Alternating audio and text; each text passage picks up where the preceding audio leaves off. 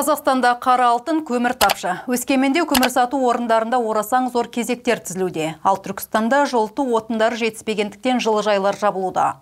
Бұл өз кезегінде қияр мен қызанақ тапшылығын туындатпақ. Елімізде мұндай жағдайлар абай шахтасы жұмысының тоқтауына байланысты деген күдік те бар. Қарағанды облысының өнеркәсіп басқармасында халық үшін көмір тапшылығы жоқ деп сендірді. Және де Абай шахтасындағы төтенше жағдай процеске әсер еткен жоқ. Өйткені Арселор Митл Теміртаудың барлық 8 шахтасы көмірді тек металлургиялық комбинат үшін өндіреді. Оны халыққа сатпайды. Қазір Кармет өз қоймасындағы қорларын пайдалануда. Өлшек сауда үшін көмірді бір шахта және 9 ашық разрез, онымен қоса Шұбаркөл өндіреді. 10 айда барлығы 28 миллион тонна көмір өндірілді. Бұл бір жыл бұрынғыға қарағанда 2 пайызға көп. Қарағанды облысында көмір сату нүктелерінде темір жол тұйықтарында аздаған дүрлікпе бар. Бірақ қызметкерлердің айтуынша бұл кезектер елдің маусымдық көмір алуына байланысты. Бүгінде вагондар жетіспегендіктен шұбаркөл көмір кенішінен көмір жеткілікті мөлшерде жеткізіле бермейді. Бірақ жүк көліктері күн сайын қатынауда.